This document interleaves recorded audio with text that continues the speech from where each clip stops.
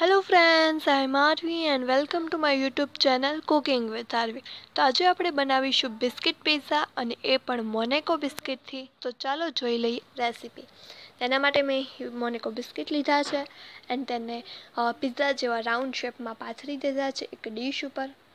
And that's you can see તો આની ઉપર આપણે લગાવીશું કેચઅપ તો તમે ટોમેટો કેચઅપ મેગી કેચઅપ અથવા કોઈ પણ કેચઅપ યુઝ કરી શકો છો. તો હું અહીંયા મેગી કેચઅપ યુઝ કરી રહી છું, કેમ કે તે ખૂબ જ ટેસ્ટી હોય છે એન્ડ મને ખૂબ જ પસંદ છે. તો મેં બધા જ બિસ્કિટ પર થોડો થોડો ટોમેટા કેચઅપ સ્પ્રેડ કરી દીધો છે. તો તમે અહીં તમારી ફ્લેવરનો કેચઅપ યુઝ કરી શકો છો. એન્ડ ચાલો હું જલ્દીથી બધા જ બિસ્કિટ ઉપર કેચઅપ સ્પ્રેડ કરી દઉં.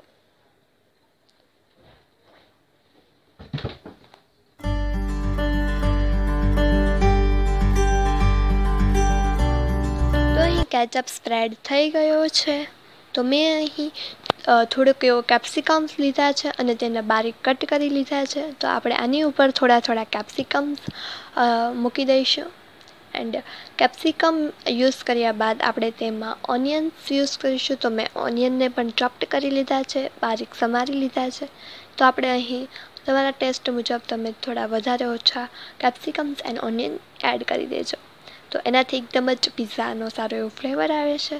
તો મેં અહીં અમૂલનું પ્રોસેડ ચીઝ લીધું છે અને તેને આપણે આપણી આની ઉપર ખમણી લેવાનું છે. તો ચાલો જલ્દીથી ચીઝને ખમણી લઈએ. તો તમને પસંદ હોય એટલું તમે ચીઝ પર એડ કરી શકો છો. ચીઝ તમે ના પણ એડ કરો તો પણ આ ખૂબ જ ટેસ્ટી લાગે છે.